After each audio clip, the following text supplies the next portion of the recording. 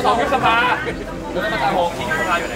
นี่ใช่มาเลยยุบสภาอยู่นู่นมานี่ดิอันที่สองนี่เรียงเรียงเรียงเรียงยกเลิกมาตราหนึ่งสองอันที่เจ็ดยกเลิกมาตราหนึ่งสองยุบสภายกเลิกประชาสัมพันธ์ด้านเดียวเนี่ยผมก็อยากรู้ว่ายกเลิกประชาสัมพันธ์ด้านเดียวเนี่ยมันมันสื่ออะไรวะผมอยากตอบถามว่าคำว่าหยุดคุกคามประชาชนเนี่ยมันมีผิดกฎหมายใช่ไหมคือประเด็นปัญหาคือว่าป้ายเนี่ยมีปัญหาหรือข้อความในป้ายมีปัญหานี่คือสิ่งที่เราตั้งคำถาม ษัตริย์รถกกษัตริย์อยู่ไหนสั่งสั่งเลยไหมสั่งข้าวเลยไหมไอ้ข้อเสนอสิบข้อของเราเนี่ยไปไม่ถึงนะฮะโดนไปไม่ถึงแล้วฮะโดนแล้วฮะโดนแล้วฮะเราเต็มที่แล้ว ไปเขียนเอานะฮะป้ายสิบข้อเสนอนะครับ เราเขียนไม่ไหวแล้วนะครับ ไปเขียนเอาเองนะครับ ขอบคุณครับ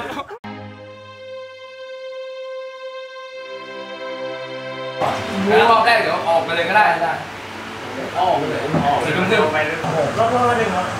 ฮะ รอบรอบถึงแล้วโอ้ถ้างั้นก็ออกได้เลยเพราะว่าเราจะเอาของขึ้นไปเลยเนาะเดี๋ยวเคลียร์รถออกครับแล้วก็เอาของขึ้นรถก่อน อยู่ตรงไหนกัน อ่าอยู่ตรงเทเลชับบี้อะอ่า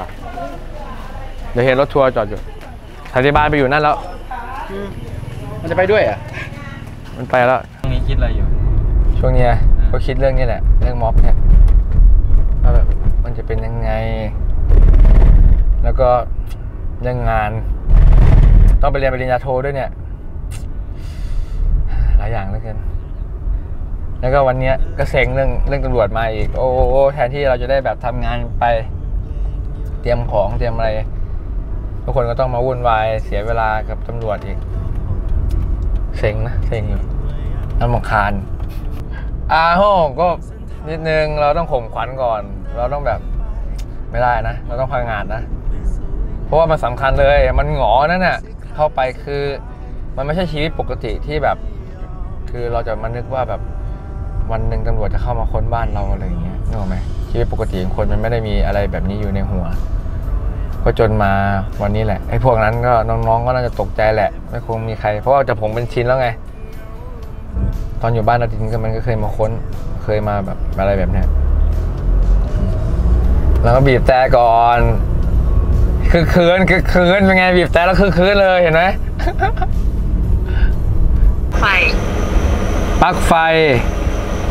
เหมือนเพนกวินมันบอกว่ามันจะต่อไฟมาให้ที่อ่ามันต่อไฟให้แต่ว่าเราต้องเราต้องมีปลั๊กของเราไปเองด้วยไง เราต้องมีปลั๊กยาวๆของเรามาเองโอเคใช่ใช่ทีนี้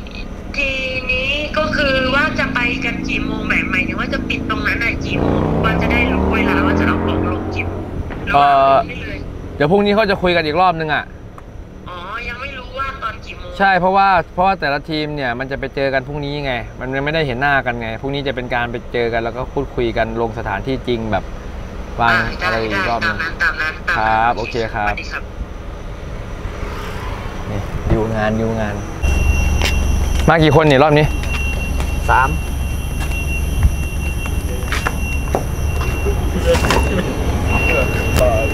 นี่ครับนี่ก็คือรถที่เราใช้สามรอบแล้วครับ เจ้านี้อุ่นใจไว้ใจครับผม ใจถึงพึ่งได้ครับ เจ้านี้ราคาเป็นกันเองนะครับ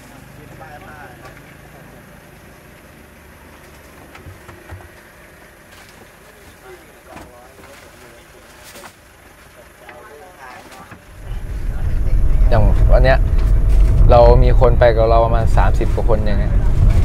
เออเราจะดูแลกันยังไง เราจะแบ่งบทบาทยังไงอย่างงี้ใช่ไหม ราะว่าอืมเราต้องดูแลคนที่ไปกับเราด้วยใช่ไหมต้องดูว่า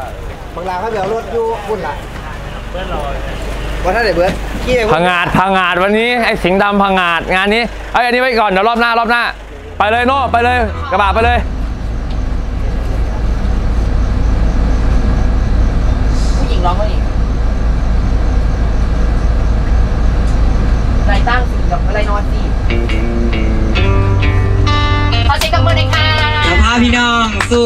อนหลอกก่อนล่ำในช่วงค่ำคืนนี้นะคะ ต่อไปครับต่อไป ได้ครับแม่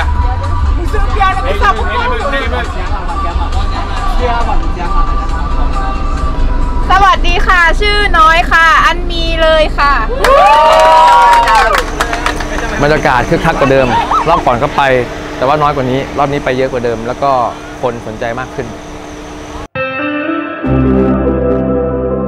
ใช่เบื่อมากเลย เราอยากมอบพื้นที่ขอนแก่นมากเลย เราทำแล้วมันได้อะไรอะใช่ไหมอำนาจมันรวมสู่ที่กรุงเทพใช่ไหมเรามีผู้ว่าก็แค่หลอกๆ เราไม่ได้เลือกตั้งเขาเขาไม่ได้สนใจเราเขาก็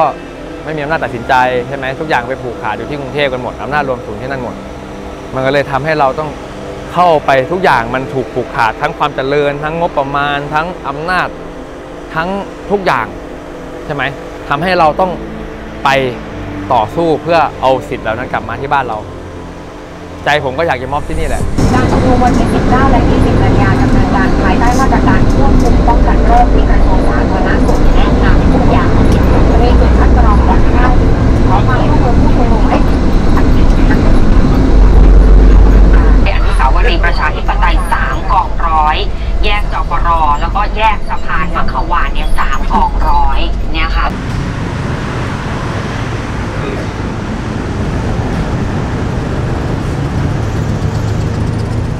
คือทุกการทุกการเคลื่อนไหว ทุกการชุมนุมทุกการอะไรมันมีมูเมนต์มันมีพัฒนาการมันมีการเรียนรู้ในแต่ละครั้งอยู่แล้ว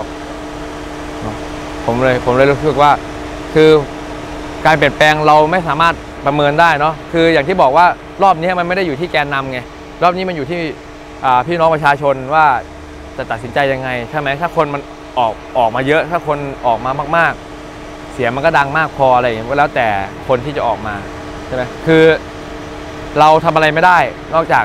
ต้องรอพี่น้องอะ เราจะทำแค่เราไม่ได้ไงเราต้องรอคนที่เขาจะคิดเห็นยังไง เขาจะว่ากันยังไง ในแต่ละครั้งอย่างรอบนี้ผมคิดว่ามีก็มีสิ่งที่น่าสนใจเยอะมาก ว่าถ้าคนออกมาเยอะๆแล้วเนี่ยรัฐไม่ฟังอีกเนี่ย มันจะเป็นยังไงต่อขอประกาศตรงนี้ว่า ไม่ว่าปี 53 ปี 49 หรือปี 57 ที่เกิดการรัฐประหารพ่อแม่พี่น้อง เสื้อแดงที่เสียชีวิตไปโปรดจงรับรู้ว่า พวกท่านมีทายาทที่มาเรียกร้องแทนพวกท่านแล้วทำไมการเคลื่อนไหวทางการเมืองทำไมการเรียกร้องสิทธิเสรีภาพทำไมการต่อสู้ให้ได้มาซึ่งรัฐธรรมนูญของประชาชน มันต้องมาคิดว่าจะต้องบาดเจ็บล้มตาย มันไม่ใช่ใช่ไหมครับ ต้องยอมรับความจริง การที่ทุกคนมานั่งที่นี่ มาจากต่างจังหวัด มันคือการต่อสู้ใช่ไหมพี่น้องฉันเกิดเป็นนกที่พอบินติดปีกบินไปไกลไกลแสนไกลจะขอเป็น